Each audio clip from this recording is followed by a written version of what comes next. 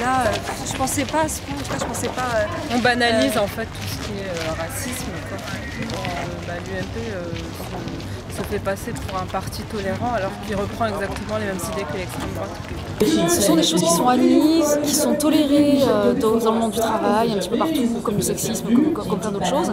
Après, c'est pas pour autant que les gens sont intrinsèquement et foncièrement, foncièrement racistes, c'est juste qu'ils tiennent, des- tiennent des propos racistes. Deuxième nommé, Brice Hortefeux, c'était le 30 août 2010. J'insiste bien là-dessus, il n'est pas question de stigmatiser telle ou telle population. Bien d'autres étrangers sont auteurs de crimes et de délits. Bien d'autres. Magnifique. C'est vrai, c'est vrai, bien d'autres, hein, ils se reconnaissent dans cette salle.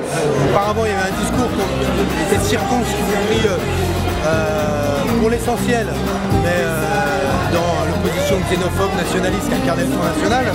Aujourd'hui, ce discours est devenu un discours institutionnel. Alors, ce discours c'est, relève de la production de la peur aujourd'hui euh, délibérée du projet politique. c'est pas nouveau, c'est pas nouveau et en plus bon, euh, moi je pense que ça cache euh, justement un racisme institutionnel.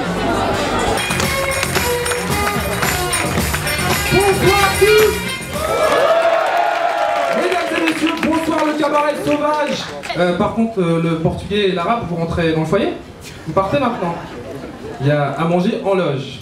Hop, comme ça ce sera fait. C'est pour vous mettre dans l'ambiance, hein, directement. hein. Et donc du coup l'humour en fait c'était donc une façon de pouvoir par rapport à d'autres associations en parler sans pointer du doigt les gens, sans, sans les faire se sentir coupables, juste pour les amener à avoir une réflexion euh, comme on veut particulièrement en parler aux jeunes parce que c'est auprès d'eux qu'il y a du travail pédagogique à faire puisque nous on intervient euh, en amont pour déconstruire euh, les préjugés. L'humour c'est facile, ça leur parle. Enfin, au fond de nous, je pense qu'on sait tous que ce type de- de- d'événement, de, rencontre, c'est également pour dire un non, dire un- un grand non justement à- à- au racisme. Pour ce euh, troisième Yabon, l'islam ne passera pas par moi. Fallait bien que ça arrive, Thomas. C'est une banale.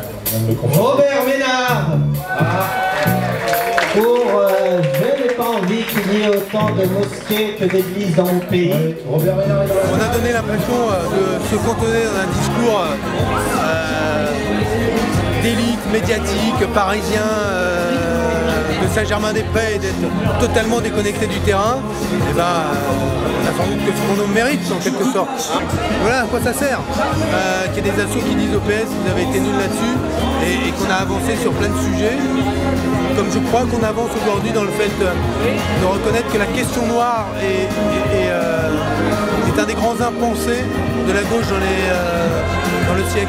C'est-à-dire qu'on a toujours pensé qu'à la fois la question de l'égalité femmes-hommes et probablement la question noire se réglerait une fois la question sociale réglée. C'est pas le vrai. Euh, je crois qu'aujourd'hui la réflexion a évolué. Euh, on reste convaincu que la question sociale est centrale.